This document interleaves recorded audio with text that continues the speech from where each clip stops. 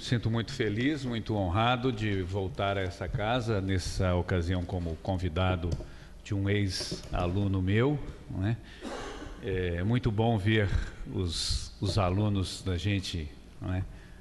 continuar não é? e brilhar nas suas carreiras acadêmicas e também muito satisfeito de estar aqui ao lado do professor Marcelo Aquino, né? Com quem eu partilhei durante alguns anos a, a docência também na Faculdade de Filosofia dos Jesuítas lá em Belo Horizonte, só para falar do aspecto profissional, né? Dos anos de Roma não vou falar nada, viu, Marcelo? e com uma surpresa e uma alegria para mim também me dei conta ao chegar aqui que essa semana é uma homenagem ao professor Nedel, né? Então, para mim é uma, uma honra também poder participar dessa homenagem. Então vamos ao trabalho. É, então, o tema que eu recebi né, para essa conferência, a metafísica em Platão, né, se for tomado, vamos dizer assim, literalmente, né, esse tema está muito acima das minhas possibilidades e das minhas competências. Né? Em primeiro lugar, porque para desenvolver adequadamente um tema como esse, e portanto em sintonia com o objeto da, da questão, ou seja, a metafísica em Platão, seria preciso ser dotado de uma natureza apta para a dialética e, portanto, já ter alcançado sobre a obra de Platão exatamente aquela visão de conjunto que, segundo o próprio Platão, é a maior prova da aptidão filosófica, como ele mesmo diz, por boca de Sócrates, lá na, no livro sétimo da República, a passagem é 537c. Portanto, a primeira condição para falar sobre a metafísica de Platão não se cumpre. Em segundo lugar, porque a vastidão e a dificuldade do tema não permitem que se alimente a veleidade de ao menos tangenciá-lo com propriedade no tempo de uma conferência. Tempo que, diga-se de passagem, é sempre curto demais para quem fala e longo demais para quem ouve. Isso vale para todas as conferências. Né? Finalmente, mas não por último, porque a nossa palavra metafísica, que aparece no título da conferência, não traduz nenhum vocábulo do léxico platônico. Ao contrário, por exemplo, da palavra teologia, que muito provavelmente foi uma invenção de Platão e que aparece, curiosamente, uma única vez em toda a sua obra. Faço referência à palavra teologia porque ela foi, depois de Platão, amplamente utilizada por Aristóteles, seja para designar o discurso sobre os deuses, seja para designar os que discorreram sobre os deuses, né, teologia, teólogos, seja para designar, junto com a matemática e a física, os três gêneros de ciências teoréticas, sendo que a teologia era o mais elevado dos três. Portanto, a palavra metafísica não pode ser atribuída senão com grande cautela a Platão e à sua obra. A propósito disso, eu estou convencido de que quando se trata de Platão, cautela deveria ter o mesmo reconhecimento que canja de galinha tem para os convalescentes, pelo menos segundo a sabedoria das nações. Dadas essas restrições, proponho, em primeiro lugar, uma breve reflexão sobre o sentido da palavra metafísica, para entender como ela poderá ser aplicada à obra platônica. Em seguida, esboçarei uma brevíssima apresentação da assim chamada Escola Platônica de Tübingen, em Milão, para justificar a terceira parte da minha exposição, na qual concluirei traçando algumas das grandes linhas da metafísica dos princípios em Platão. Metafísica esta que, justamente segundo os cânones dessa escola platônica, só pode ser extraída do conjunto da obra platônica, ou seja, da obra oral, da tradição oral e da tradição escrita. como eu tenho me dedicado há alguns anos né, a dar a conhecer, ou a divulgar, vamos dizer assim, né, essa escola de interpretação de Platão, evidentemente que eu não poderia deixar passar essa oportunidade insigne né, de falar também aqui sobre isso.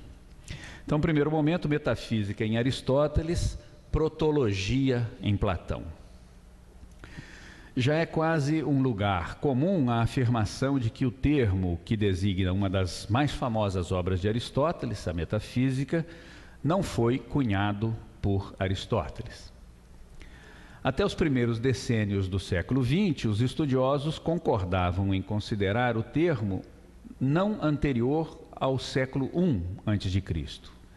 e tendiam a afirmar que o termo se encontraria pela primeira vez em Nicolau de Damasco, o qual, segundo uma informação de um códice da metafísica de Teofrasto, teria composto um estudo sobre a metafísica de Aristóteles. Nicolau de Damasco foi um contemporâneo um pouco mais jovem de Andrônico de Rhodes, o célebre editor das obras de escola de Aristóteles. Segundo alguns estudiosos, o termo metafísica teria sido criado pelo próprio Andrônico para a publicação da sua edição dos escritos aristotélicos, ou o termo teria surgido logo depois da publicação, ou ainda em consequência da publicação. Uma vez que, uh, como sabemos, os livros da metafísica na edição de Andrônico vinham depois, metá, né, os livros da física, de onde então viria a expressão os livros metafísica, os livros que vêm depois da física. Portanto, a maioria dos estudiosos entendeu por muito tempo o termo como aludindo a uma relação de sucessão cronológica ou de sistematização dos tratados aristotélicos. Curiosamente, por uma feliz coincidência, se nós entendermos o metá não só como depois, mas como além, que é um sentido que o prefixo também tem na língua grega, né? a expressão tá, metá, tá física, assume um significado que indica o conteúdo daquelas obras, né? daquela pesquisa que no fundo é uma pesquisa sobre o que está além da física, efetivamente, sobre o transcendente ou o suprassensível que é o objeto último dos 14 livros da metafísica de Aristóteles. Entretanto, a partir de meados do século XX, particularmente em decorrência dos estudos de Paul Morot sobre as antigas listas das obras de Aristóteles, ficou claro que o título Metata Physica seria anterior não só a Nicolau de Damasco, mas também ao próprio Andrônico de Rhodes, e teria figurado num catálogo de Aristo de Céus, por volta do século III a.C., portanto, muito mais próximo do próprio Aristóteles. Desse catálogo de Aristo derivaria o célebre catálogo de Diógenes Laércio, no qual, por razões absolutamente fortuitas, é um defeito no manuscrito, não figura o título da famosa obra de Aristóteles, Metafísica. Pois bem, além da datação do título, também o sentido da expressão foi posto em discussão por Morro, ao provar que nas listas mais antigas da, nas listas mais antigas da obra de Aristóteles, a ordem dos escritos não situava a metafísica depois da física, mas situava a metafísica entre as obras eh, matemáticas, por um lado, e a seção dos escritos chamados hipomnemáticos, né, o que leva a concluir que a parte teorética da obra de Aristóteles seguia a seguinte ordem: física, matemática e metafísica. Portanto, o metá não é por vir depois da física, não seria, pelo menos. Com base nisso, poder-se-ia até mesmo conjecturar que o termo metafísica poderia remontar a Eudemo, dado que, de acordo com o pseudo-Alexandre, a metafísica teria sido confiada a Eudemo e até mesmo sistematizada por ele pela primeira vez. Portanto, para concluir esse primeiro raciocínio, não se pode hoje em dia mais aceitar como indubitável a tese de uma origem meramente casual ou editorial do termo e do livro Metafísica. Quanto ao conteúdo, nós sabemos que Aristóteles definia de quatro maneiras diferentes a pesquisa e o conjunto dos livros a que a metafísica se dedica. A primeira definição encontra-se no início do livro 1 e é reafirmada ao longo de toda a obra. Ela caracteriza a metafísica como conhecimento das causas e dos princípios primeiros ou supremos. Eu vou ataiar, como diz o mineiro, as referências, né, porque depois isso tudo vai ser publicado. Senão eu fico falando o número de telefone aí para vocês que ninguém guarda nada, né? E não serve para nada. Então, 947B e tal, isso aí, tá? Eu não vou falar nada disso, que aí a gente ganha tempo. Pois bem.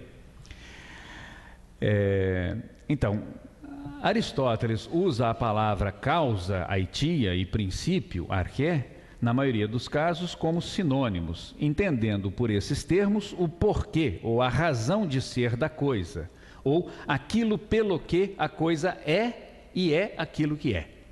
Essa é a primeira definição.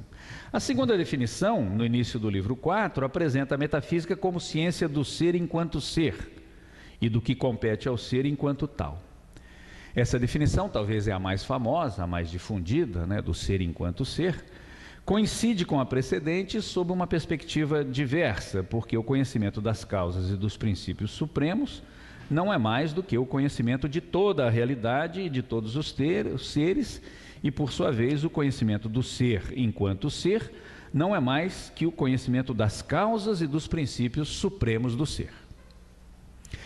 Aristóteles também caracterizou a sua metafísica como teoria da substância e o metafísico como aquele que especula sobre a substância. De fato, quase a metade dos livros da metafísica, ou seja, do livro 7 ao livro 9 e do livro 12 ao livro 14, são quase que inteiramente dedicados ao problema da substância. E em todos os outros livros da metafísica há referências a esse problema. Portanto, o problema da usia, ou o problema usiológico, né, é sem dúvida o problema, um dos problemas centrais da filosofia primeira de Aristóteles. Finalmente, a metafísica é repetidamente definida como teoria de Deus ou ciência teológica. De fato, a partir da conclusão de Aristóteles de que existem substâncias imóveis, eternas e separadas, que são o movente imóvel e as outras inteligências puras, moventes dos céus, pode-se concluir que a componente teológica é a portadora do sentido último da metafísica e, portanto, que a amplidão ou a latitude da metafísica aristotélica é dada pela componente teológica. Essas são, então, as quatro definições do termo metafísica usadas por Aristóteles.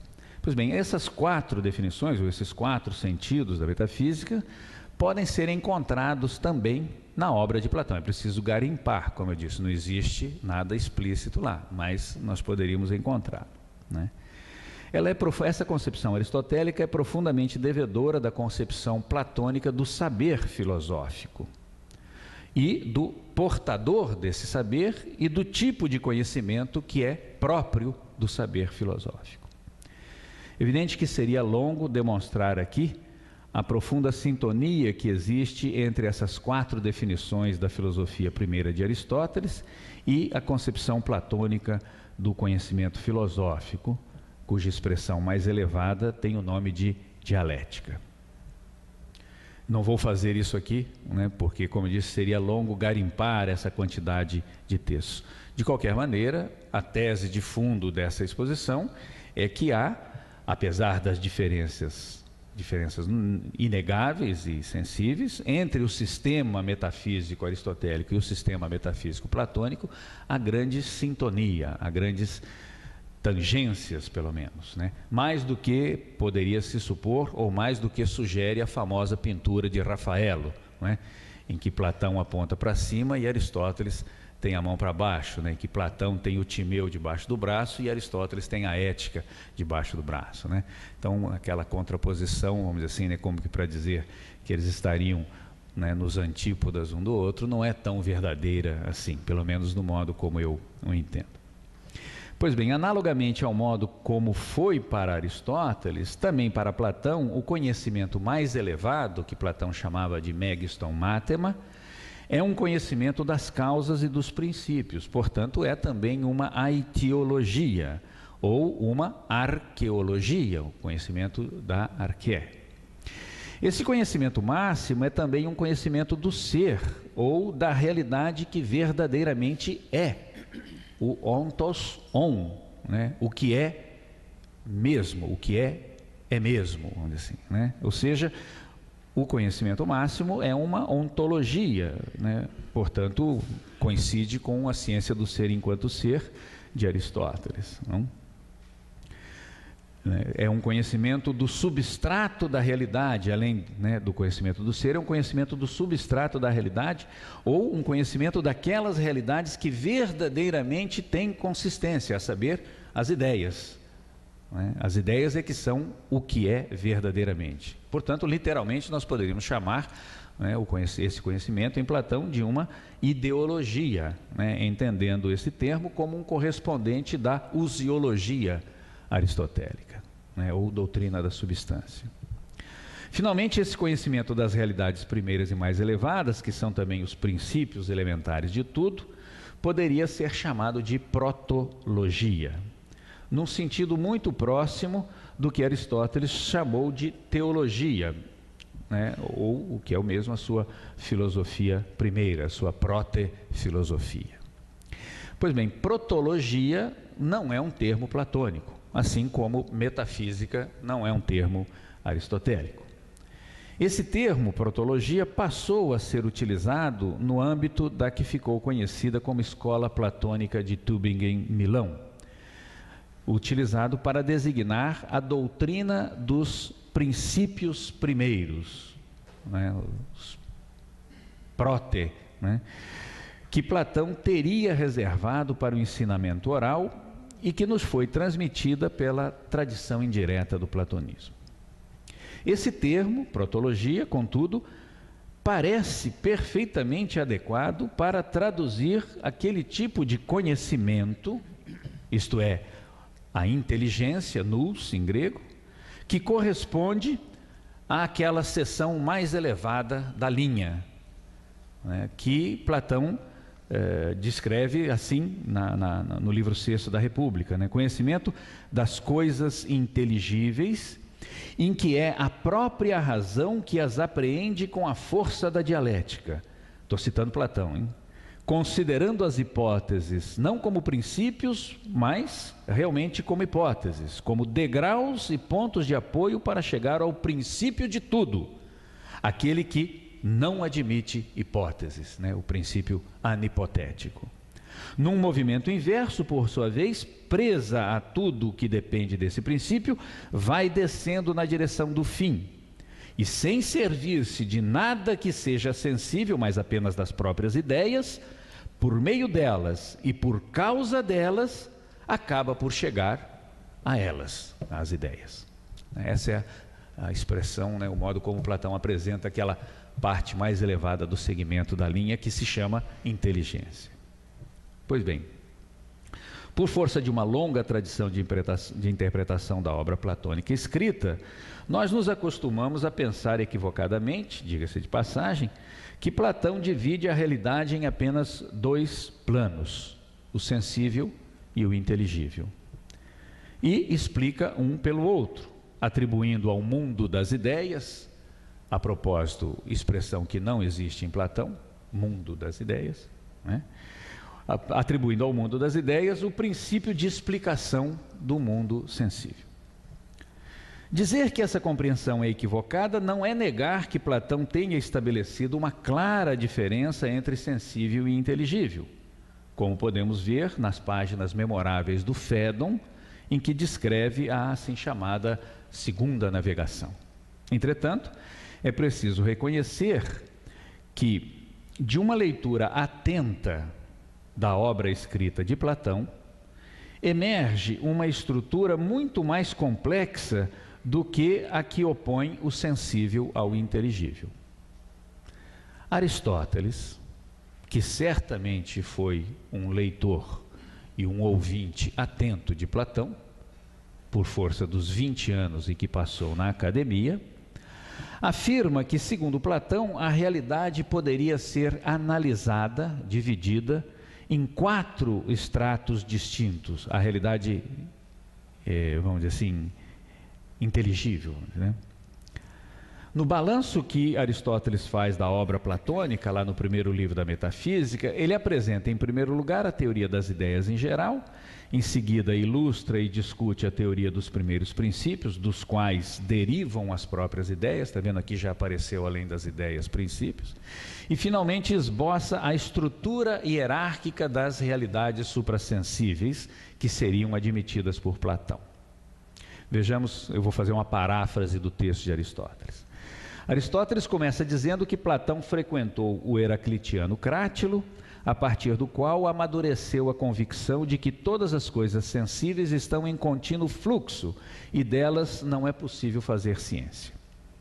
Depois, Platão aceitou de Sócrates o método da pesquisa do universal e da definição, estendendo o método que Sócrates aplicou apenas à esfera ética ao plano das realidades na sua totalidade chegando à conclusão de que os objetos sensíveis não podem ser aquilo a que se referem a definição e o universal, e que, portanto, devem existir outras realidades às quais se referem as definições. Né? A definição não pode definir o sensível, mas outra coisa. Platão denominou ideia essas realidades e sustentou que a pluralidade das coisas sensíveis subsiste por participação nas ideias. Em seguida, Aristóteles afirma que a relação de participação entre as ideias e as coisas sensíveis significa que as ideias são causas dos sensíveis, mas não são as causas primeiras e definitivas, pois Platão sustentava que existem elementos constitutivos das próprias ideias e, portanto, princípios anteriores ou ulteriores às ideias. Esses princípios supremos são o uno, ou a unidade, e a díade, ou a dualidade ilimitada ou indefinida de grande e pequeno. A função do uno corresponde, segundo Aristóteles, à forma, e a função da díade corresponde, na filosofia aristotélica, à matéria. Para quem é familiarizado com Aristóteles, né, forma e matéria. Portanto, o uno seria a causa formal das ideias, das ideias e a díade seria a causa material das ideias. As ideias, por sua vez, são causa formal das coisas sensíveis e o grande e pequeno desempenha o papel de causa material. Ainda segundo Aristóteles, esses princípios possuem um valor axiológico, além desse valor ontológico de constituição da realidade. Porque, segundo Aristóteles, Platão teria atribuído ao uno, à unidade, a causa do bem, e ao princípio oposto, a dualidade ou a díade, a causa do mal. Disso resulta que, além dos sensíveis e da esfera das ideias, acima delas existe a esfera dos princípios supremos, do uno e da díade. Mas Aristóteles diz ainda mais: ele afirma que Platão admitia entre os sensíveis e as ideias uma esfera intermediária constituída pelos entes matemáticos.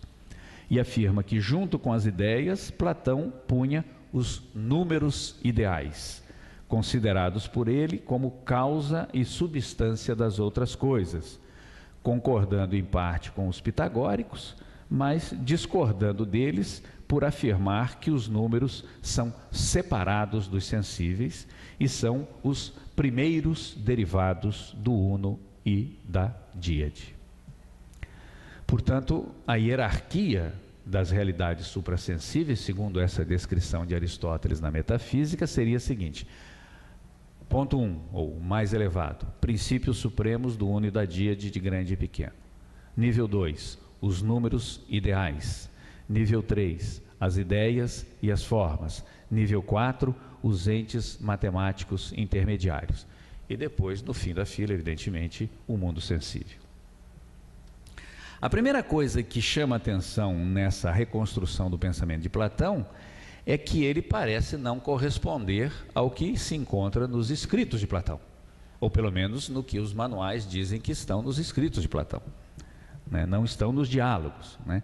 E parece apontar para alguma realidade que esteja fora dos diálogos. O próprio Aristóteles sugere isso numa outra passagem, não da metafísica, mas da física, na qual ele fala de doutrinas não escritas de Platão, ágrafa dogmata. Ora, o testemunho de Aristóteles, assim como os assim chamados autotestemunhos de Platão, particularmente aqueles que podemos extrair do Fedro e da Carta Sétima, quando rigorosamente, criteriosamente confrontados com os testemunhos dos discípulos imediatos de Platão e de outros doxógrafos da antiguidade, revelam várias linhas de tradição ou de transmissão de um ensinamento oral de Platão, cujo núcleo consistia justamente na doutrina dos princípios do Uno e da Díade. Esses textos constituem as fontes da tradição indireta, que se estende por um período de aproximadamente 800 anos, indo de Aristóteles e Filipe de Opunte até Simplício e Filopono. Portanto, tem chão aí, né? Esses textos foram recentemente recolhidos e editados num único volume por Konrad Geiser, com o título Testemunha Platônica e são as referências textuais para o trabalho de interpretação da escola platônica de Tübingen em Milão, que eu agora passo a apresentar sumariamente. Eu não vou ao contexto mais antigo, evidentemente que o contexto mais antigo da escola platônica é a própria obra de Platão. É? Mas eu vou começar por um contexto mais recente, até fazendo aqui a minha homenagem. Nós estamos em 2008, né? esse ano faz exatamente 100 anos que Leon Robin publicou, em 1908, um famoso livro sobre a teoria platônica das ideias e dos números, segundo Aristóteles, no qual ele faz um rastreamento de todos os testemunhos na obra de Aristóteles sobre essa questão das ideias e dos números. Né, na, na, Platão é um, uma obra monumental que foi editada em 1908, reimpressa em 1963, em composição anastática e tal, né? uma obra que ainda hoje, além das bibliotecas, certamente é acessível ainda para os interessados. Então, essa obra contém uma densa interpretação sistemática dos testemunhos de Aristóteles sobre as doutrinas do mestre e a declarada tentativa de compreender Platão pelo filtro da tradição indireta. Foi a primeira tentativa, vamos dizer assim, recente, 1908. Em 1917 e 1924, Julius Stenzel publicou dois importantes estudos sobre Platão e Aristóteles, dos quais concluía que os testemunhos de Aristóteles sobre as doutrinas não escritas de Platão referem-se ou referir-se-iam ao último período do seu filosofar, além de sustentar que uma das fontes de informação de Aristóteles é a famosa lição platônica sobre o bem, Peritagatu, na qual ele teria pela primeira vez, publicamente, primeira e única, apresentado a sua teoria dos princípios e a questão das ideias e dos números. De modo semelhante, em 1949, Stenzel, eh, de semelhante a Stenzel, Wilpert é, no, numa obra sobre essa questão, afirma que essa questão das doutrinas não escritas está ligada à senilidade de Platão, portanto, ao último período do seu filosofar, né, justamente a partir de um estudo que Wilpert fez sobre a reconstrução dos escritos juvenis de Aristóteles. Finalmente, é preciso ainda mencionar a obra de Findlay, Platão, As Doutrinas Escritas e Não Escritas, que foi publicada em 1974, mas que foi elaborada nos anos 20. Né? É, na qual ele defende a tese de que o estudo de Platão, limitado à letra dos diálogos, acaba por extrair dele a sua dignidade e o seu interesse filosófico.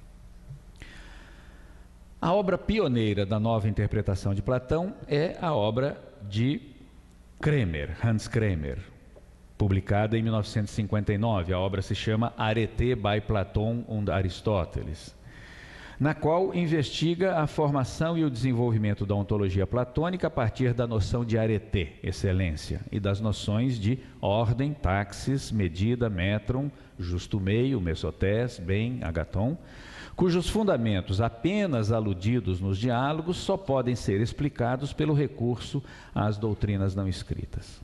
Isso em 1959, esse tremendo volume do Kremer. Em 1963, é, Geiser publica a sua obra sobre o ensinamento ah, oral de Platão, analisando particularmente a relação entre matemática e ontologia. A obra se chama justamente O Ensinamento Oral de Platão.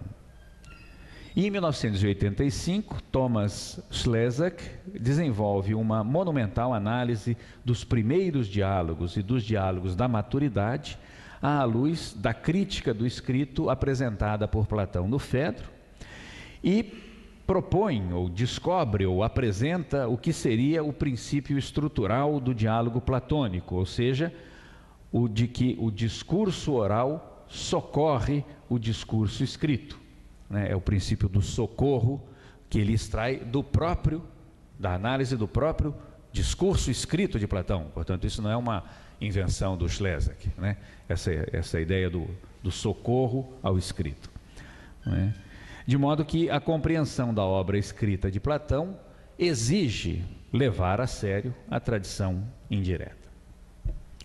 Entre nós, essa tradição foi popularizada pelo grande livro de Reale, que eu traduzi para o português, para uma nova interpretação de Platão, um livro que foi decisivo para acrescentar o nome de Milão ao Tübinger da escola. Né? Livro que, aliás, representa um dos mais espetaculares fenômenos, vamos dizer assim, editoriais dos últimos anos. Né? Coisa que, em filosofia, seria assim, o equivalente a um Paulo Coelho. Dizer, guardadas, evidentemente, as devidas distâncias. Né? Imaginou se um autor de filosofia vendesse 100 milhões de livros? Né? né? Bom, mas o livro de Reale, publicado em 1984 sob forma provisória, teve três edições ampliadas até 1986. A partir da quinta edição, em 1987, ele passou a ser editado pela Vita e Pensiero. E em 1991, o livro já chegava à sua décima edição. E em 2003, ele chegava à vigésima primeira edição. Né? A, edição de, de 91 foi considerada pelo autor como definitiva. É a partir dessa que nós fizemos a tradução brasileira.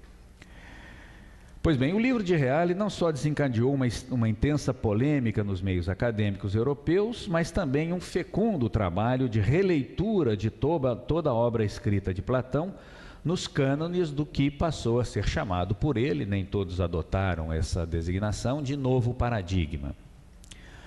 São expressivos dessa, dessa produção né, literária posterior ou estimulada ou em torno, vamos dizer assim, né, do chamado círculo de Reale, os grandes comentários histórico-filosóficos de alguns dos diálogos de Platão, como por exemplo os de Maurício Migliori, né, sobre o político, sobre o Filebo ou sobre o Parmênides, ou o grande comentário do Giancarlo Movia sobre o sofista, né, ou do Mário Montuori sobre o Criton, sobre o Crátilo, né?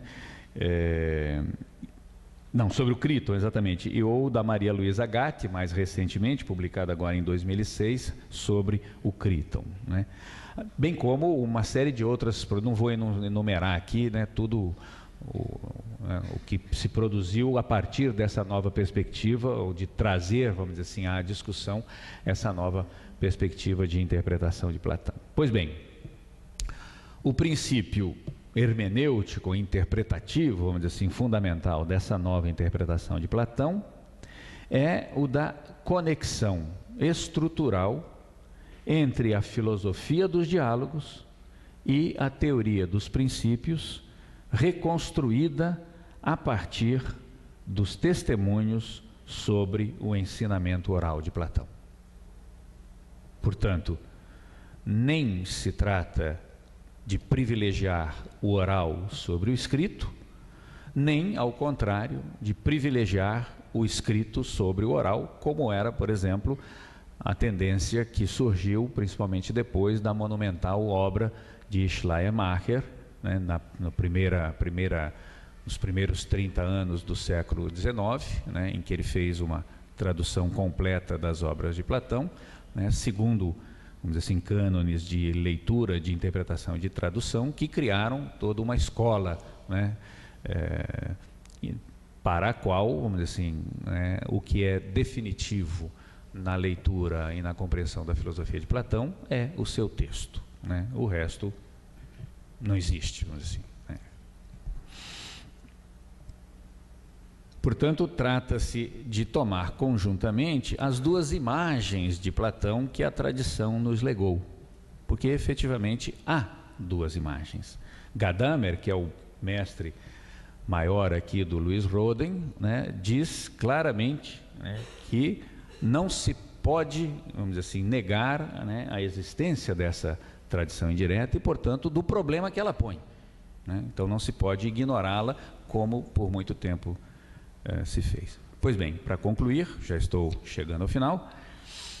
O terceiro passo, ainda que sumário e breve dessa exposição, seria então né, o que se chama a metafísica dos princípios. Aliás, esse é o título, né, de uma, está no título de uma das obras de um desses grandes eh, fundadores da escola de Tübingen em Milão, que é justamente o Kramer, né, eh, a, a metafísica dos princípios na obra de Platão. Pois bem, Kremer começa uma parte dessa sua obra com a seguinte afirmação que eu leio. A filosofia platônica que nos foi transmitida pela tradição indireta se apresenta como uma aitiologia no sentido dos pré-socráticos, ou seja, como uma pesquisa das causas, dos princípios e dos elementos últimos. Na economia desse tipo de pesquisa, domina a lei segundo a qual se deve explicar a realidade com princípios que sejam o mais simples possível e no menor número possível. Com isso, o pluralismo próprio das ideias é teoricamente redimensionado e metodologicamente superado num plano de reflexão mais elevado. Com essa afirmação, Kremer inicia justamente né, a sua exposição, a sua apresentação da estrutura filosófica da teoria platônica dos princípios. Né? Teoria essa que tem que ser buscada não nos escritos, mas no ensinamento oral. Né? Porque Platão se recusou, por dez razões, a pôr por escrito essa teoria. Segundo Kremer, Platão parte de uma duplicidade de princípios últimos, porque entende que a totalidade não possa ser deduzida de um único princípio, sem cair no paradoxo da autoduplicação do uno originário.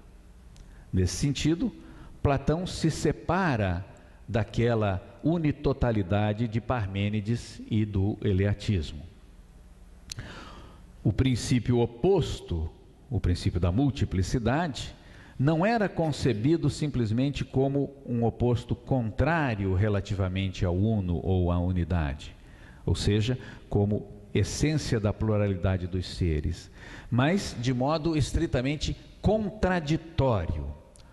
O princípio da multiplicidade era não unidade, vale dizer, era entendido como indeterminado, como ilimitado, é? e portanto também como divisível de maneira infinita e infinitesimal. É? Portanto, princípio e substrato de toda multiplicidade particular. Esse era o princípio da dualidade ou da díade. A ação conjunta dos dois princípios, do uno e da multiplicidade, é que é constitutiva da estrutura da realidade, uma vez que todo ser é essencialmente uma determinação ou uma delimitação da multiplicidade indefinida ou ilimitada pelo uno como princípio de determinação. Esse processo de constituição da realidade não deve ser entendido como um processo temporal, mas como uma metáfora que ilustra uma análise de estrutura ontológica, cuja finalidade é tornar compreensível ao conhecimento discursivo aquela ordenação atemporal de tudo o que é. Né? Portanto, o fato de dizer que os princípios constituem o ser, evidentemente que nós não estamos falando aqui de nenhum criacionismo, de uma passagem do nada ao ser ou de nenhum processo temporal, tá? mas de um processo ontológico. Cito aqui uma passagem que, no meu modo de entender, é extremamente densa e elucidativa né, do Kremer, para explicar justamente como que os dois princípios é que constituem a realidade. Vejam, tudo o que é é na medida em que é algo delimitado determinado, distinto, idêntico, permanente e, enquanto tal, participa da unidade originária, que é princípio de toda determinação. Nada é algo se não é, em certa medida, um algo. Mas algo pode ser justamente algo como uno e participar da unidade somente porque, ao mesmo tempo, participa do princípio oposto, da multiplicidade ilimitada e, portanto, é diferente da própria unidade. Se não participasse da multiplicidade, seria a própria, não seria diferente da unidade. A função dos dois princípios, portanto, é análoga àquela que emerge da distinção aristotélica de princípio formal e princípio material. Segundo Kremer, esse é o núcleo da concepção ontológica de fundo de Platão. Portanto, o ser ou a realidade, o on, o ontos, on para Platão, é um misto, uma mistura que se estende a todos os âmbitos, a todos os níveis da constituição do ser. Alguns testemunhos da tradição indireta afirmam que no seu ensinamento oral, Platão recorria a um duplo procedimento para conduzir tudo aos princípios, a saber, o procedimento generalizante e o procedimento elementarizante. O procedimento elementarizante, inspirado pelo modelo da matemática, reduzia tudo pela decomposição em partes sempre menores aos seus elementos últimos e mais simples. E o procedimento generalizante, de origem socrática, subia do particular ao sempre mais geral e referia-se à esfera dos universais em sentido estrito, sobretudo às ideias de identidade, igualdade, semelhança e os seus contrários. Essas ideias estão em relação aos princípios na mesma relação que as espécies mantêm com os gêneros, na medida em que, por exemplo, identidade e semelhança são espécies da unidade. Diferença e dissemelhança são espécies da multiplicidade. Esses dois princípios tinham para Platão o mesmo peso como procedimentos conver... esses dois percursos, desculpa, né, o generalizante e o elementarizante, tinham para Platão o mesmo peso como procedimentos convergentes de captação da totalidade da realidade em termos de elementos, stoicheia, né, e de gêneros supremos. Né? Portanto, em Platão existe uma pluralidade metodológica, em consequência da qual os princípios assumem o status, seja de elementos primários, seja de gêneros generalíssimos. A duplicidade metodológica deve ser distinguida da duplicidade de direção do processo argumentativo, que move, que se move em dois sentidos opostos e que, segundo informações de numerosos testemunhos sobre a doutrina não escrita de Platão, era essencial para Platão.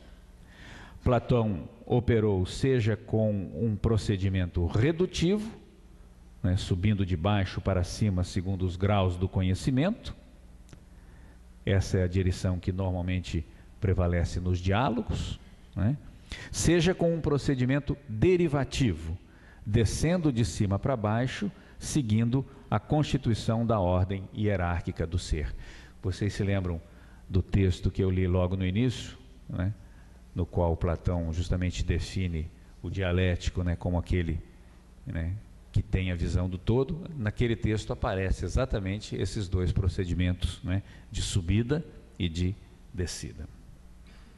Esse procedimento corresponde à distinção entre rácio cognoscente e rácio essente, que no procedimento aristotélico corresponde ao primeiro para nós, diferente do primeiro por si. Além da dimensão ontológica e gnosiológica, a doutrina dos princípios tinha também para Platão um significado axiológico. A doutrina não escrita foi exposta pelo menos uma vez publicamente sob o título de Peritagatu, né, ou lição sobre o bem. Aliás, até, muito provavelmente muitos sabem, é, há todo um folclore em torno dessa história, dessa exposição oral de Platão, mas folclore à parte, né, parece que Platão efetivamente tentou uma vez e desistiu, né, se decepcionou e não falou mais disso, pelo menos publicamente. Pois bem, Kremer afirma que a equiparação de uno e bem se torna clara por meio do desdobrar-se da unidade no ordenamento do ser. O uno, como princípio, produz ordem e estabilidade dos principiados. E, precisamente, em primeiro lugar, produz ordem nos números, nos números ideais, e depois nas virtudes próprias da esfera do humano que participam do número. E analogamente, também nas características próprias do cosmos, ou seja, é efetivamente o uno que ordena, que produz a ordem do cosmos. O caráter de ordem, que é próprio do bem individual, se funda assim na delimitação da multiplicidade por obra da unidade. Portanto, esse é o fundamento, vamos dizer assim, o caráter, vamos dizer assim, axiológico dos princípios de Platão. Giovanni Reale, no seu livro Para uma Nova Interpretação de Platão, resume de uma maneira bastante didática essas três, como ele chama, valências dos princípios, né? valência ontológica, gnoseológica e axiológica, num texto que eu leio para ataiar. 1. Um, o uno, agindo sobre o múltiplo ilimitado, o determina, o delimita, o ordena e, portanto, o unifica, produzindo desse modo os entes em vários níveis. 2. Mas o que é delimitado, determinado e ordenado é estruturalmente cognoscível. Portanto, unidade, limite e ordem são o fundamento da cognoscibilidade das coisas. A verdade e a cognoscibilidade dependem, portanto, dos princípios primeiro, primeiros de maneira perfeita. 3. Mas, agindo desse modo sobre o múltiplo, o uno produz ordem e estabilidade e, portanto, também valor. De fato, o que é ordenado, harmonioso e estável é também bom e belo. O bem é, portanto, a ordem produzida pelo Uno. Desse modo se explica perfeitamente a valência axiológica da doutrina dos princípios. A virtude, em consequência, insere-se exatamente nessa perspectiva como ordenamento do que tende ao excesso e à falta, portanto, como unidade na multiplicidade, de modo análogo com relação ao que se verifica em todos os, antro, os outros graus e âmbitos do ser. Portanto, tanto ontologicamente, como gnoseologicamente, como axiologicamente, os princípios tem um papel, vamos dizer assim, estrutural, estruturante, papel principal, justamente. Para concluir, uma última, é, um último aspecto da metafísica dos princípios em Platão. De acordo com diferentes indícios, Platão definiu o uno como medida.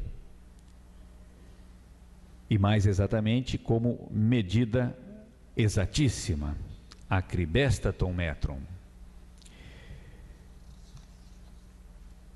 parece até, segundo um testemunho de,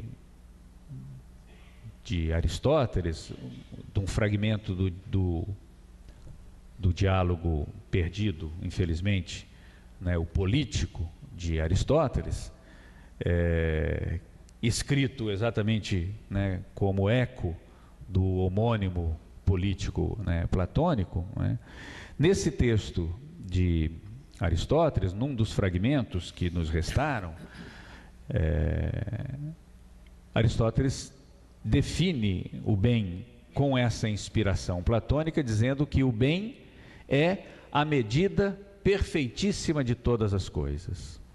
Essa definição do bem de Aristóteles faria, pelo que parece, pela análise dos testemunhos, eco exatamente àquela definição que Platão teria dado, ou daria, mas que nunca né, escreveu, né, do bem.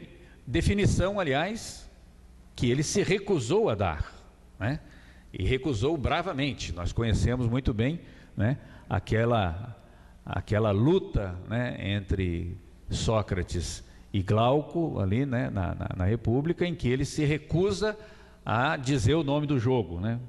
Se fosse, se ele estivesse jogando truco, né, ele nunca diria o truco, ele faz a, né, mas ele não disse né, o nome do bem, né, não deu a definição do bem, ele disse o nome do filho do bem, né, do broto do bem, que é o sol, e aí vem a metáfora justamente do sol. Pois bem, essa definição faria eco exatamente a que Platão teria dado né, no seu ensinamento oral, né, que seria o bem é o uno, medida exatíssima de todas as coisas.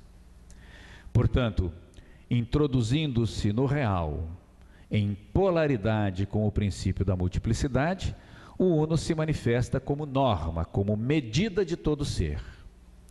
E para concluir, uma citação de Kramer, uma vez que eu comecei com ela: a unidade na sua relação com o mundo é suprema medida de ser, de bondade e de verdade. E por isso, justamente, justamente como medida, é referida ao mundo.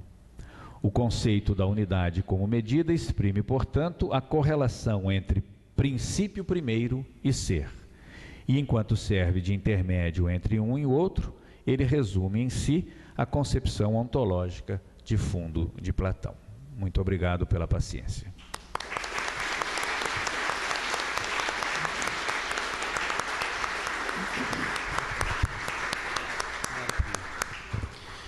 Obrigado, Perini. Bom, passo a palavra então ao Marcelo, que dispensa qualquer apresentação.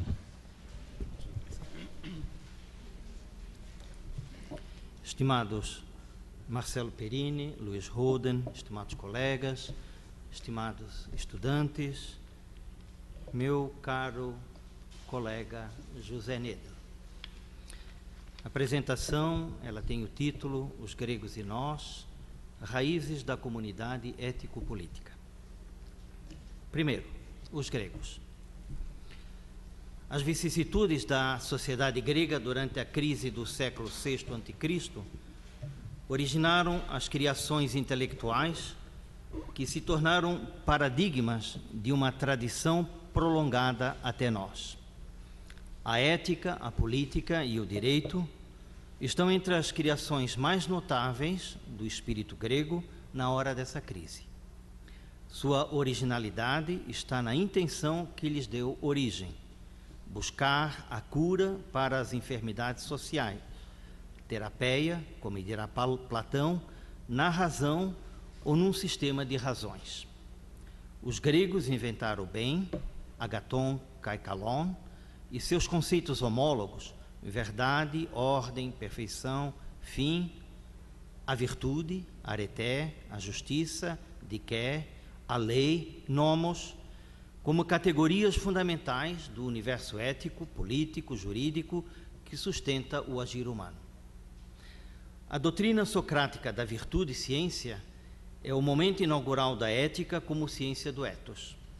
Ela é o resultado do entrelaçamento de três temas fundamentais do ensinamento ético de Sócrates: o homem interior, psiché, a sabedoria verdadeira, sofrosune, a virtude, que se resumem na questão: como devemos viver? O cognitivismo moral de Sócrates estabeleceu a necessidade do uso da razão para a prática da virtude. Uma consequência paradoxal o atravessa.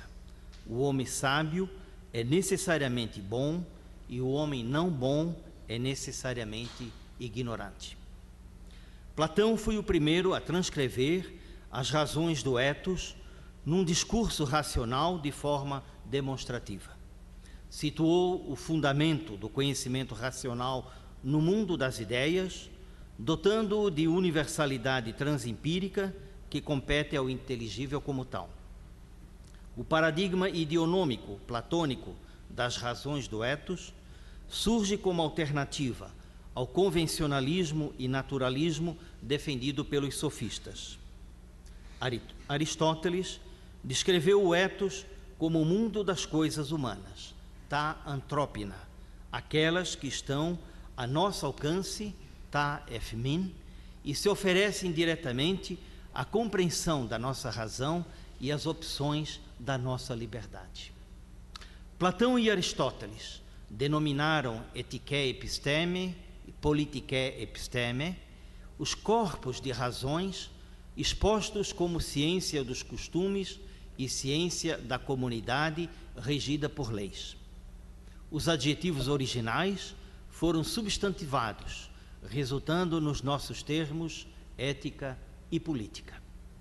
A universalidade nomotética inerente à ordem eterna da natureza, physis, e o laço ontológico que une ética e política caracterizam o pensamento ético-político da antiguidade clássica. Os latinos, a partir do momento em que a cultura grega se implantou no antigo Lácio e obedecendo ao mesmo critério de um corpo de razões organizado demonstrativamente, acrescentaram o termo corpus iuris para denominar o direito ou o corpo das leis. A situação humana fundamental no pensamento grego é a de habitar a morada do ethos. A explicitação da racionalidade imanente do ethos se constitui como teoria da praxis individual.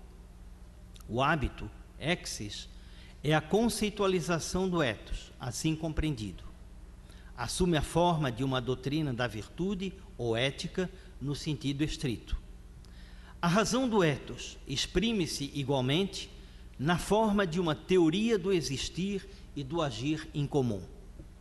O costume é essa outra conceitualização do ethos. Apresenta-se como doutrina da lei justa, que é na comunidade o análogo da virtude no indivíduo. A política, ou ciência da politeia, é a outra face da explicitação racional do ethos a universalidade abstrata da razão prática é suprasumida na universalidade concreta do ethos histórico mediante a analogia entre physis e ethos. Graças à praxis, a physis é transcrita nas estruturas históricos sociais resultantes da ação humana. A reflexão sobre a praxis humana permite ao cognitivismo grego romper com o domínio da necessidade que caracteriza a physis, sobrelevando-se até o reino da liberdade que constitui o ethos. A noção de medida, metron, confunde-se com as origens da ética e da política. Ética, política, direito são fontes de autolegitimação da sociedade grega, sobretudo nos momentos de crise da sua própria sobrevivência em virtude do atenuar-se das suas razões de ser e agir. Constituem, ainda hoje, os corpos fundamentais de razões que, a partir da herança grega, as civilizações vêm elaborando para atender à necessidade de prescrever a praxis uma racionalidade que, operando consensualmente, possa alcançar no seio das comunidades uma validez universalmente reconhecida. Esta necessidade teórica de uma fundamentação filosófica da praxe, sobre a qual se apoia o edifício doutrinal da ética, da política, do direito, faz-se sentir igualmente como uma necessidade histórica.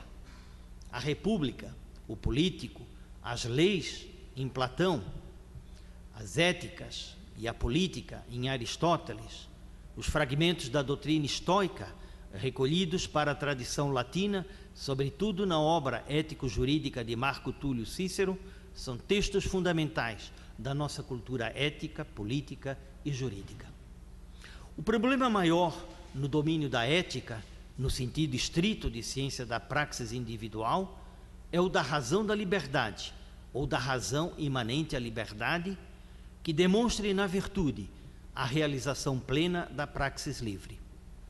O problema maior no domínio da política, no sentido estrito de ciência normativa da praxis comunitária, é o da razão do livre consenso, ou da razão imanente à livre aceitação do existir e agir em comum, que demonstre na lei justa a realização plena da praxis consensual. A ideia do bem é o centro da constelação grega formada pelos saberes normativos do agir humano, a ética, a política e o direito. Ela foi entendida como fim melhor e mais excelente que se constitui em termo último do movimento da praxis. No pensamento clássico grego, o agir é sempre movido por razões. Cumpre-se em vistas de fins. Aristóteles ensina que o fim é sempre o bem, aparente ou real apresenta-se sempre sob a razão do melhor. Com efeito, como poderia um ser racional ou uma comunidade de seres racionais agirem obedecendo à razão em vista do que é o pior ou em vista do mal?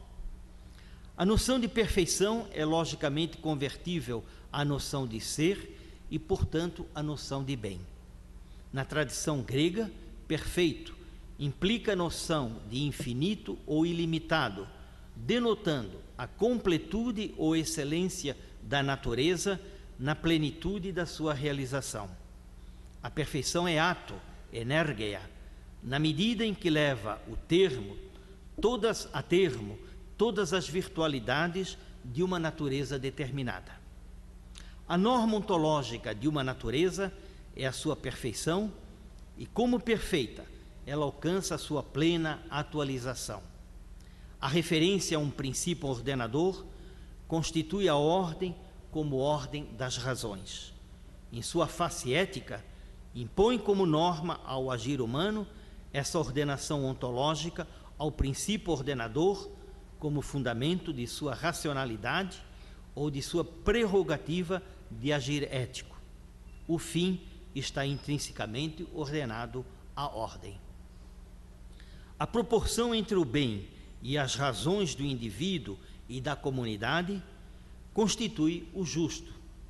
Essa proporção implica a, a ideia de distribuição equitativa ou proporcional do bem ou dos bens.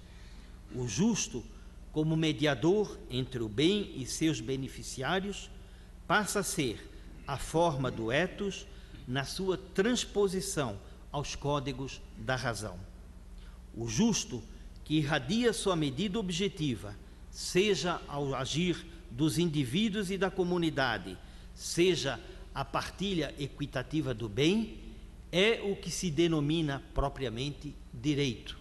Significativamente, no grego e no latim, justo e direito são ori oriundos da mesma raiz.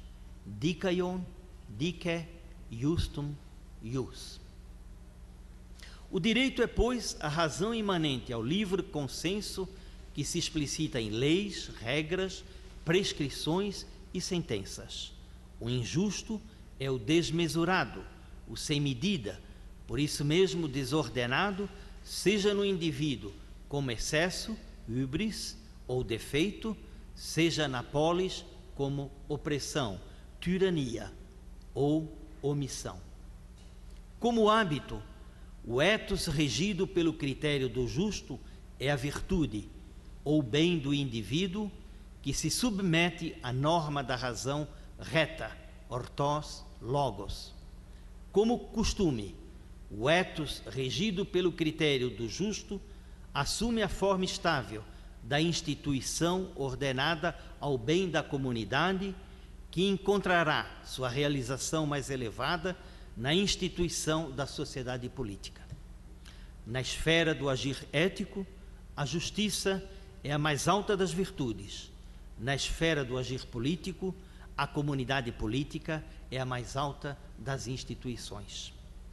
O homem grego pôs-se então a questão decisiva: como, como discernir o melhor na relatividade dos bens e como fundamentá-los em razão. A reflexão platônica sofreu a incidência direta da experiência da transcendência que faz sentir a exigência de um bem absoluto que é ao mesmo tempo princípio primeiro e fim último das razões do agir. O imenso esforço especulativo e programático que Platão desenvolveu na República e nas leis tem em vista exatamente fundar a justiça na ideia do bem, subtraindo-a à flutuação dos interesses e aos azares da contingência. Ao retomar o projeto platônico, Aristóteles fez descer a ideia do bem da transcendência divina, segundo ele, inalcançável, em que Platão a situara.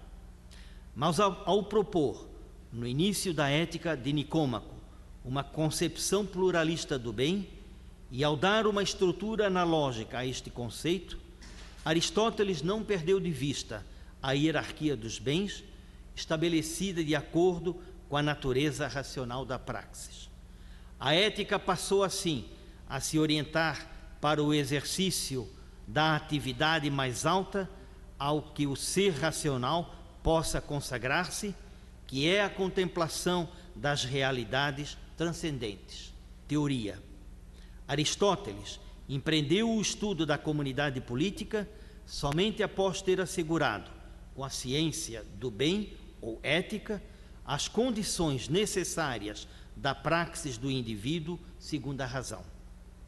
A realização da justiça, que somente é possível no seio da melhor politeia, vem a ser aquela regida pela constituição mais justa, constitui a perspectiva grega do político, que nisso se difere da politologia moderna voltada para a legitimação do poder.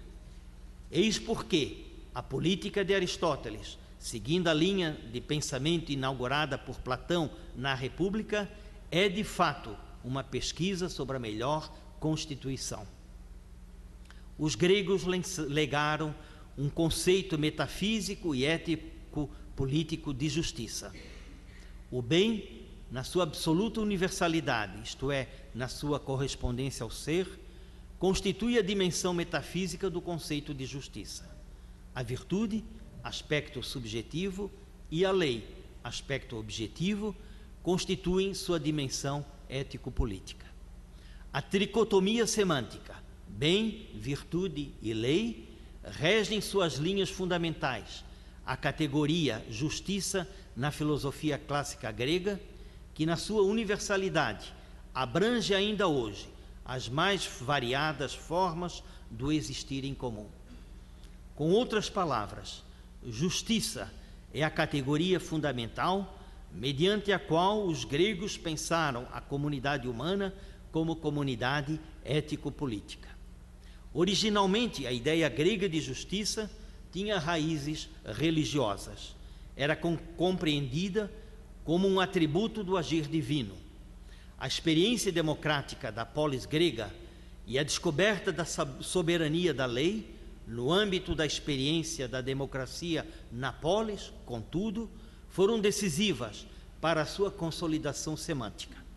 Democracia e soberania da lei constituem o núcleo inteligível da experiência histórica que possibilitou a organização da sociedade grega, não mais segundo o modelo despótico ou autoritário, mas segundo o modelo político.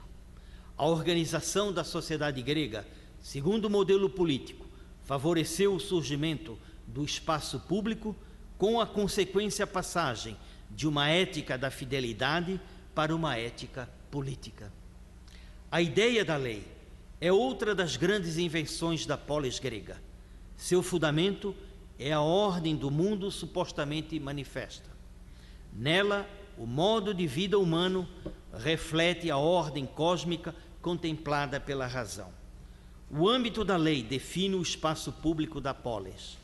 A ideia de lei torna possível a proporção ou a correspondência entre a lei ou medida interior, metron, que rege a praxis do indivíduo, e a lei da cidade, que é propriamente nomos, devendo assegurar a participação equitativa, eunomia, dos indivíduos no bem que é comum a todos e que é, primeiramente, o próprio viver em comum. Isonomia, igualdade, eunomia, equidade e exeguria, direita a palavra na Assembleia, são os atributos do conceito grego de lei. A lei aparece assim como o oposto exato da hubris social em todas as suas formas e, portanto, como a razão explicitada e codificada da liberdade consensual. O problema maior do pensamento jurídico clássico greco-romano é o da integração dialética da liberdade, universalidade subjetiva do indivíduo, com a lei, universalidade objetiva do direito. A ideia da sociedade política no pensamento grego manifesta-se como intento de desvincular a necessidade natural de associação e a utilidade dela resultante do exercício do poder como força ou violência. A necessidade natural de associação, dessa maneira, é assumida na esfera da lei e do direito. O poder é a causa eficiente da constituição do ser da sociedade política, ao passo que a lei, como ordenação da razão, é a sua causa formal.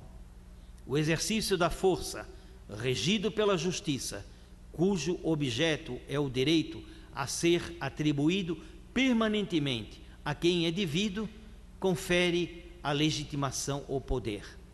Segundo a definição clássica do direito romano, a justiça tem por objeto o direito a ser atribuído permanentemente a quem é devido. A virtude na esfera do indivíduo e a lei justa na esfera da sociedade exercem função terapêutica. No caso do indivíduo, a dinâmica do desejo tende ao excesso, devendo ser regida pelo método da virtude. No caso da sociedade, a dinâmica do poder é habitada pelo híbris da violência, devendo ser regida pelo logos presente na lei justa. Segundo momento, nós.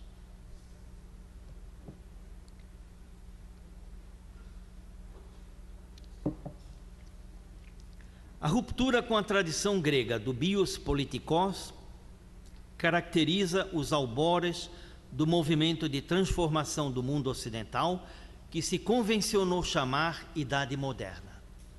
Nova forma de razão, ao mesmo tempo herdeira da razão grega e a ela oposta, seja nos instrumentos metodológicos que utiliza, seja no ideal de conhecimento que persegue, organiza o pensamento moderno.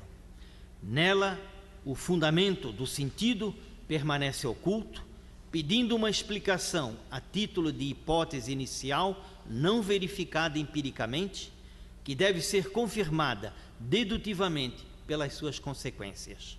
Universalidade hipotético-dedutiva é a denominação desta nova figura da razão, de que surgem novas imagens da natureza, do ser humano e da sociedade. A dimensão poética ou fabricadora desempenha papel decisivo no conceito de razão subjacente ao pensamento científico moderno. Procede more geométrico e se manifesta em relação tecnopragmática que funda a construção de novo paradigma de ciência. A razão moderna instaura relação construtora ou experimental entre o ser humano e o mundo. Este novo conceito de natureza abandona as propriedades que qualificavam a physis grega. O pressuposto da descoberta científica do mundo implica a rejeição de todas as qualidades às quais não se aplica a medida física. Consequentemente, o universo científico homogêneo substitui o, cosmos hierárquico antigo. A natureza, na modernidade pós-renascimental, não é uma ordem imutável que serve de fundamento da lei objetiva a qual se deve referir a praxis humana.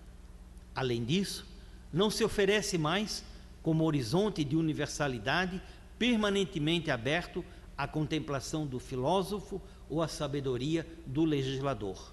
Finalmente, tem por instrumento privilegiado a mecânica galileana newtoniana, que opera segundo regras metodológicas do tipo hipotético dedutivo. Ela tende a análise, a análise matemática como seu instrumento conceitual privilegiado. Neste novo paradigma de natureza, o mundo é termo da relação técnica. Apresenta-se como campo dos fenômenos que se oferece à atividade conceptualizante e legisladora da razão e, consequentemente, à atividade transformadora da razão. A consciência individual do sujeito humano pós-renascimental afirma-se cada vez mais em face do mundo a transformar. O homem grego afirmava o todo social como seu valor primeiro. O homem pós-renascimental confere primazia ao indivíduo na autonomia interior do seu eu, isolado e autossuficiente. A noção de autonomia passa a ser atributo da esfera do político, que se emancipa da esfera do religioso. A partir desse processo de sua autonomização com relação ao religioso, a esfera política também se emancipa da moral privada. O poder laico impõe-se no Estado moderno. Na sociedade grega, o ser humano era um ser social. Na sociedade moderna, ele é um indivíduo constituído como valor último da vida social e política. No primeiro caso, o ideal da sociedade era a sua organização em vistas do seu fim. No segundo caso, a sociedade é um meio em vista de novo fim, ou seja, a vida de cada indivíduo. Em resumo, a organização da sociedade moderna visa a felicidade individual. A passagem do estado de natureza ao estado de sociedade no pensamento moderno resulta do seguinte processo: o indivíduo, na sua singularidade psicobiológica, detém prioridade lógica e ontológica, apresentando-se como elemento simples que se supõe inicialmente independente na sua suficiência de ser para si.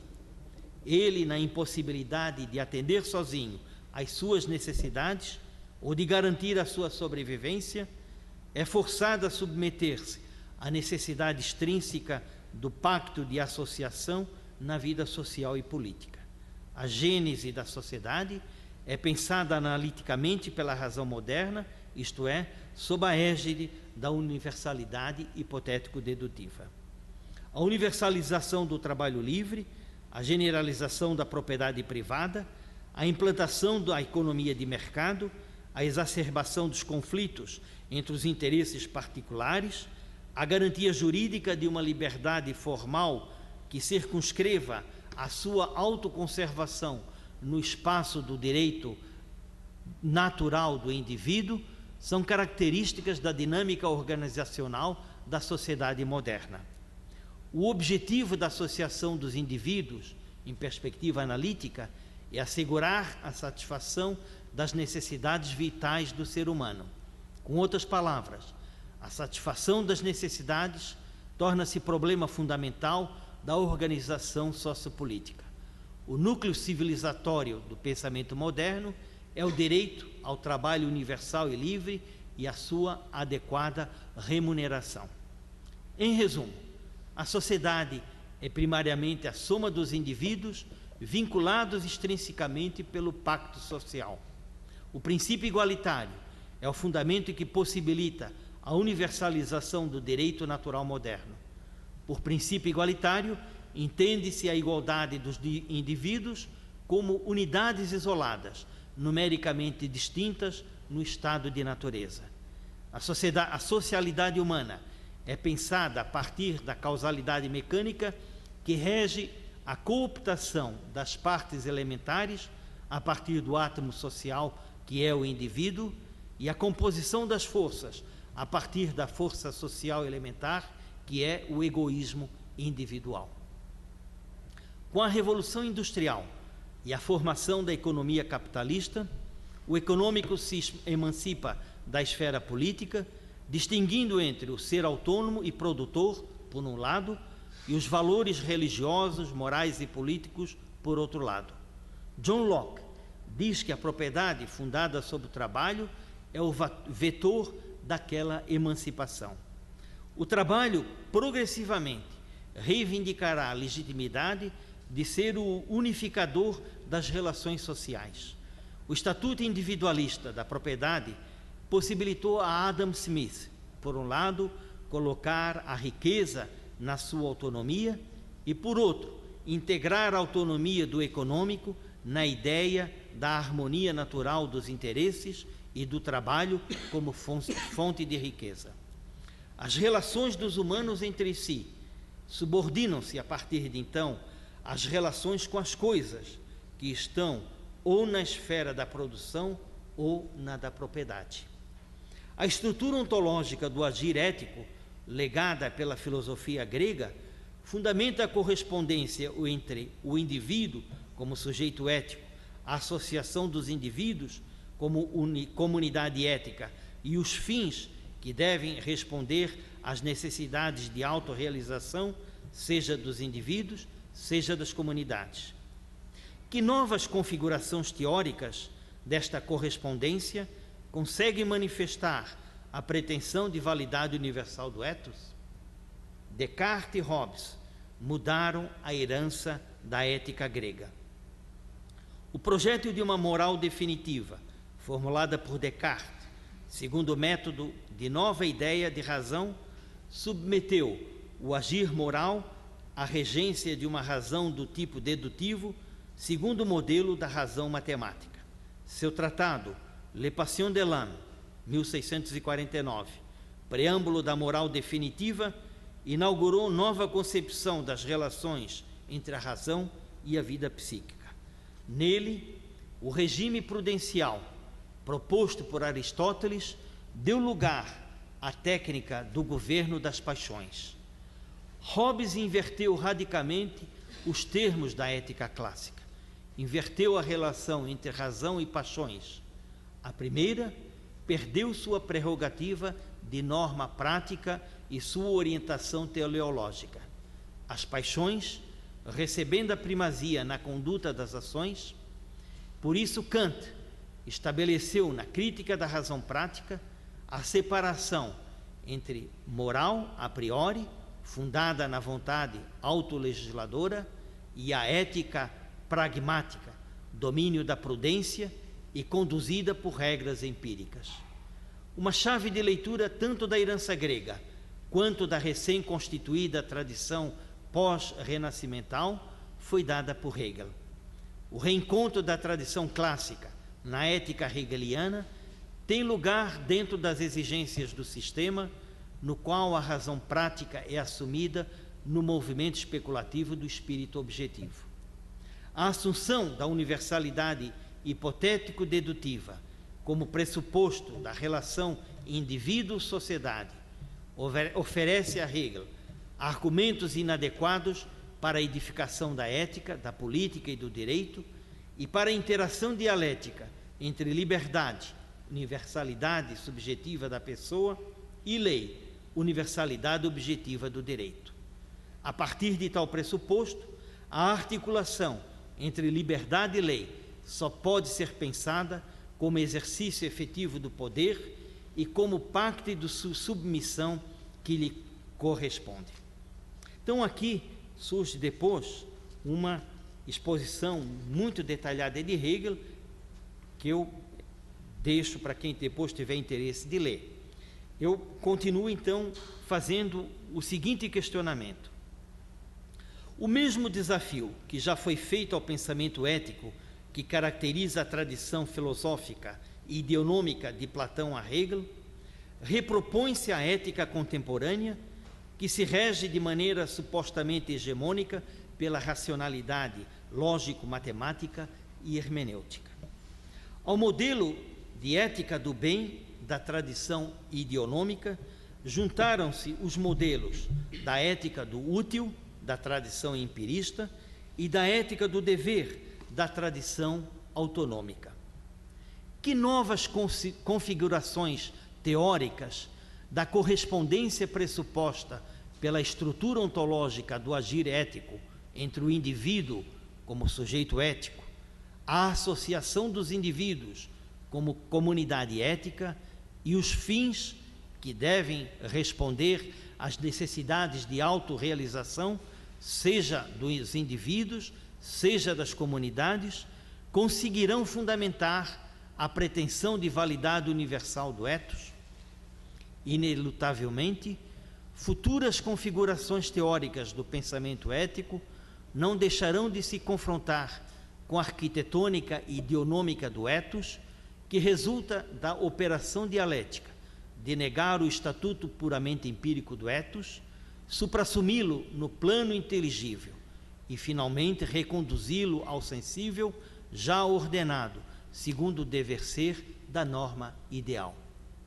A racionalidade lógico-matemática e hermenêutica, sob cuja égide acontece a reviravolta linguística do filosofar contemporâneo, transforma de maneira paradigmática o conhecimento humano. Segundo esta transformação, a linguagem em ato é o inteligível em ato. Consequentemente, a linguagem é o inteligível no qual a contemporaneidade filosófica suprassumiria o estatuto empírico do ethos já previamente negado. Assumida esta premissa, a tarefa de configurar teoricamente a correspondência entre sujeito ético, comunidade ética e fins da autorrealização conflui para a linguagem, que reivindica a validade inerente ao primum intelligibile. Assim como a rememoração hegeliana da filosofia clássica grega transferiu a inteligibilidade do ethos do campo semântico da physis para o da história, por sua vez, o ciclo dierno da razão instrumental tem a pretensão de transferir a validade do agir ético para o campo inteligível da linguagem. E é esta a pergunta final. Que significa para nós remodelar conceitualmente a reflexão filosófica sobre o bem, a justiça, a verdade, a virtude, a lei, sob a égide da filosofia linguística? Uma poria marca esta transcrição conceitual do agir ético no campo inteligível da linguagem. Caso não se remonte à unidade ontológica da linguagem como tal, a pluralidade empírica das linguagens não confluiria para um pluralismo de universos linguísticos incomunicáveis? Para que a linguagem possa reivindicar a universalidade que lhe compete e que corresponde à universalidade do seu fundamento ontológico, é preciso que uma filosofia metalinguística critique a redução da linguagem à sua estrutura semiótica e às regras da estrutura semântica, e critique o primado do signo sobre a significação. Em outras palavras, a legitimidade da linguagem, como inteligível em ato, pressupõe a sua estrutura ontológica.